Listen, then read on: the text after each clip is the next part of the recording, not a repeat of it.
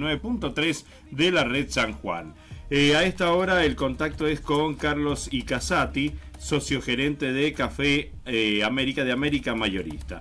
Eh, Carlos, ¿cómo estás? Buen día, gusto de saludarte.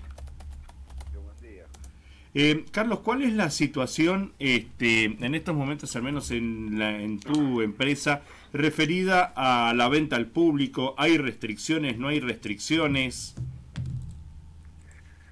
Eh, no.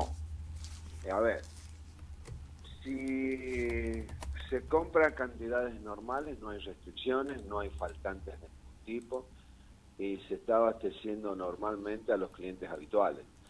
Lógicamente que si viene un cliente que eh, viene una persona que es desconocida a comprar una cantidad importante, no se la vendemos.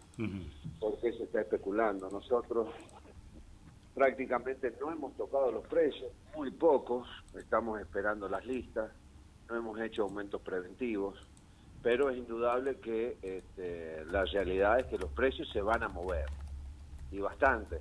Si tenemos en cuenta que eh, desde el día jueves hasta ahora, hasta ayer, prácticamente el dólar se ha movido un 40% más o menos, estimamos, bueno, entonces la mercadería es indudable que va a tener un salto importante, porque la verdad que acá no, no queremos reconocerlo, o nuestro gobernante no quiere reconocerlo, pero está todo dolarizado.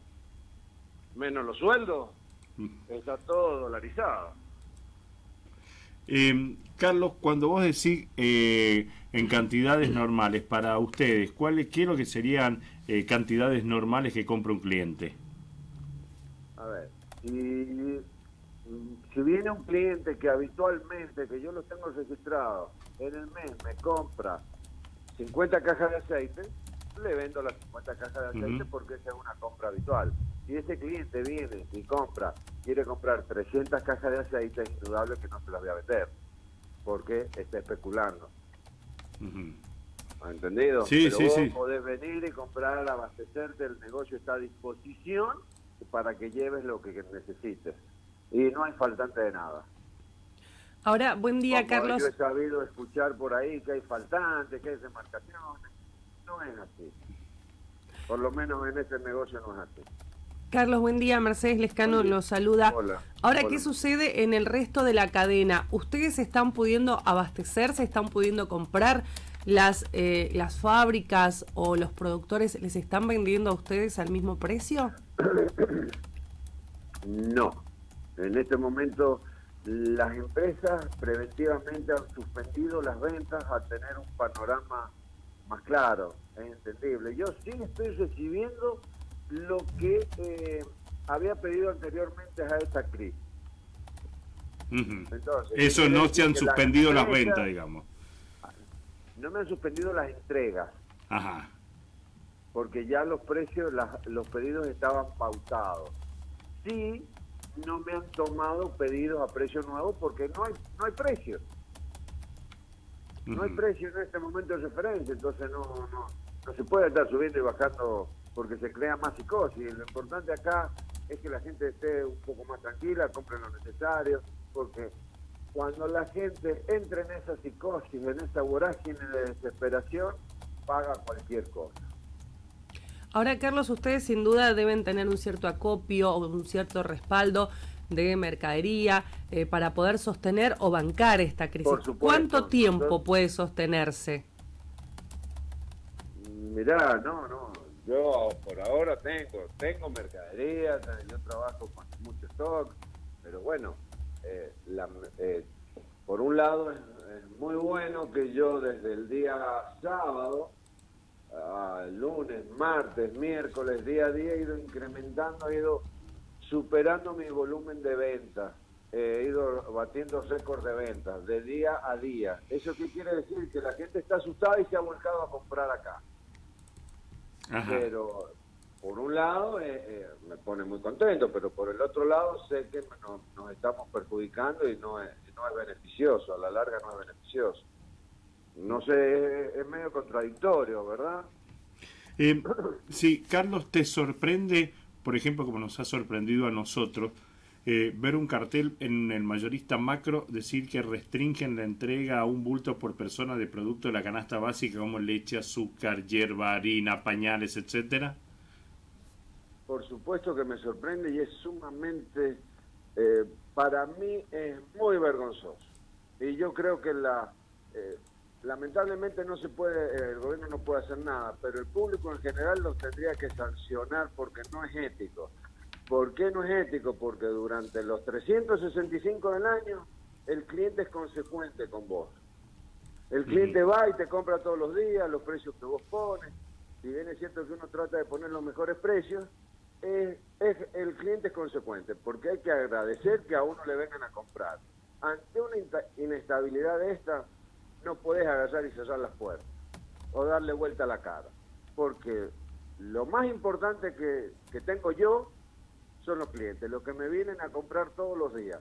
Gracias a eso, a ese cliente que uno que es chiquito, otro más grande, fue comenzó a crecer Café América. Entonces no lo puedo, no le puedo dar vuelta a la cara en esta situación y dejarme en la calle. Ahora, Carlos, ¿ustedes no se reúnen desde la Cámara para conciliar eh, alternativas o estas son, eh, son decisiones políticas o de mercadotecnia que llegan desde Capital Federal? Pueden acá tomar esas decisiones en caso de macro, es decir, ustedes acá deciden, pero ¿se puede consensuar una política dentro de la Cámara para justamente no, perjudicar al cliente? No, no, no, no, acá, acá, acá este, uno es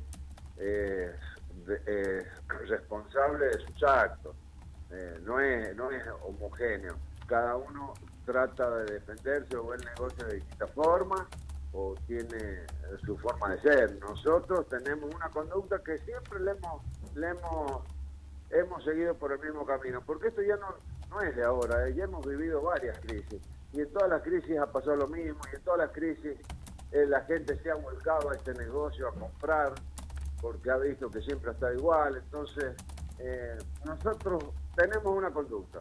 Otra gente se mueve de otra forma, este, el, el cliente será el que lo tenga que juzgar, no nosotros. Además es una empresa muy grande, esa que están nombrando son empresas muy grandes, multinacionales, y sabrán cómo, cómo se mueven. Este, sí, pero evidentemente, como vos manifestabas, si bien el gobierno no puede hacer nada, creo que en este caso debería el gobierno este, rellenar ese vacío legal este, porque evidentemente te está generando un caos en el consumo. Eh, por, este, supuesto, eh, por supuesto, Una situación de desestabilización incluso. Perdón, por supuesto, porque si empresas de esa envergadura cierran sus puertas por X motivo, sean ciertos o no, no sean ciertos, cierran sus su puertas, eso genera confusión y genera más caos. Entramos en la vorágine de si esta empresa cerró, ¿qué se viene? Entonces ya asusta a todo el mundo. Porque no es lo mismo que cierre el negocito de la esquina a que cierre uno de los negocios más grandes de la, provincia. Eh, Carlos, ¿tienen medido cuánto tiempo podrán estar ustedes sin recibir abastecimiento sosteniendo esta situación? No, no, no, esto se tiene que normalizar, esto es, eh, esto es, esto es cuestión de esta incertidumbre, días más se tiene que normalizar, todos tenemos que vender, no se puede el país parar. Así es que eh, pienso que apenas tenga, tengan un poco de estabilidad el dólar y las empresas sepan cuáles son sus precios o pongan lo que, no sé, no sé cómo se manejarán bien, tendrán que salir a vender. Por lo pronto hay que decirle a la gente que todos los productos de la canasta, canasta básica, acá en San Juan hay stock suficiente para que la gente pueda comprar. Eh, eh, es muy bueno y es muy tranquilizador y muy realista lo que estás, lo que estás diciendo vos. Este, Carlos, eh, finalmente haces, ¿cómo evalúan ustedes como empresa las medidas anunciadas ayer por el presidente Macri? ¿Son electoralistas? ¿Son para alentar el consumo? ¿Son un paliativo? Mira, yo para mí no quiero ser pesimista, pero eso no, es, es, una, es una aspirineta en, un, en una enfermedad mayor. Para mí no, no, no, no, no tiene sentido. Es más, todo lo que ha anunciado se licúa con, con una devaluación del 40%, se licúa inmediatamente. no, no. Es más, no... no es que estés de acuerdo hay no. Un contrapunto, hay un contrapunto de que a, en la mañana de ayer se anunciaba que habían congelado los combustibles, a última hora de la noche que no. Entonces me parece que este gobierno ha perdido un poco de autoridad. y, bueno, y lo va a pasar, lo va a pasar para arriba, por arriba, lamentablemente. Eh, Carlos, agradezco tu, que nos hayas atendido y fundamentalmente la, la, franqueza y que hayas llevado tranquilidad con estas declaraciones este, eh, a los sanjuaninos, porque como vos dices, ven que un macro hace esto e inmediatamente este, se llama eh, al caos o a la desconfianza, ¿no? Por es, supuesto. Es muy interesante que vos como empresario este, hayas llevado tranquilidad. Te agradezco mucho. Estoy a tus órdenes. Un abrazo, Carlito. Chao, chao.